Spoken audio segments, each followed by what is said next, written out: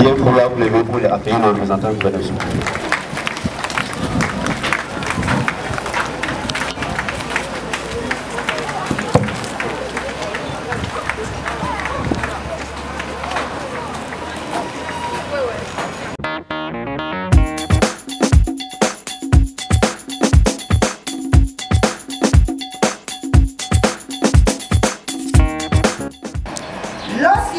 Des droits de la femme, de promouvoir un environnement social agréable et équitable, de donner la parole aux victimes d'abus et d'injustices quelconques, la Suisse estime effectivement que c'est en sollicitant et en aidant directement des acteurs et actrices de la société civile à consolider leur démarche que ces derniers pourront renforcer leur interaction avec les autorités publiques.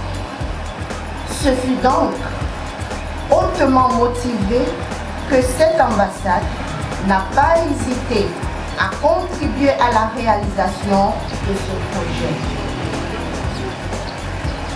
À travers ce centre d'écoute, d'information et de soutien aux victimes et survivants des violences basées sur le genre qui voit le jour aujourd'hui, la Suisse croit qu'il est possible de faire changer les comportements, de prendre conscience des valeurs essentielles, de mobiliser les pouvoirs juridiques et politiques pour que l'injustice ne perdure et que les victimes de tels abus ne se sentent stigmatisées et abandonnées.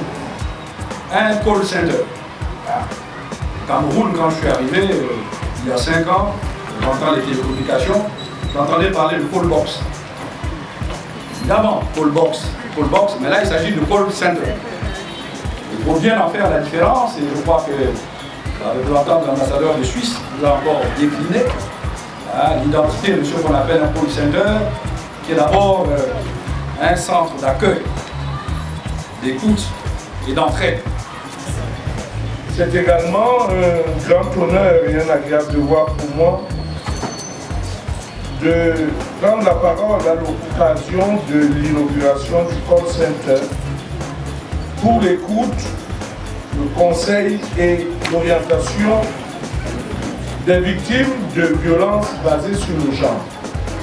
Ces violences sont plus récurrentes et manifestes dans les couples et en général dans les familles et ne sont pas toujours dénoncées de peur de représailles.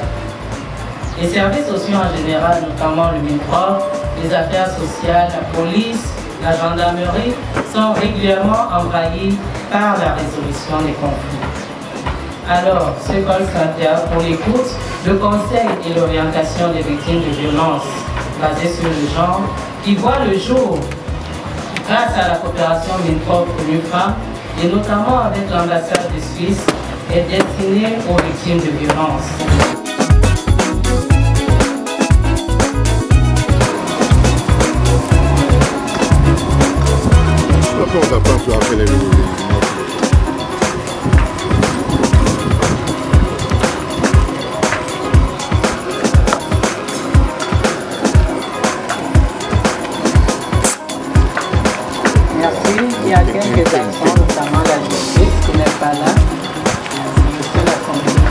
référentiels culturels et moraux.